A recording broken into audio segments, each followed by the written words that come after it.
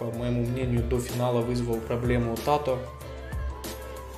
Не просто было бросить своего оппонента Григлашвили. Очень упертый француз, занял пятое место на турнире Гран-при сегодня. Ну а Тато, как видите, много раз пытался бросить своего оппонента, много раз подворачивался. Был совершенно устойчив его оппонент. И вот таким вот броском через спину Тату Григлашвили очень красиво оформил икон. И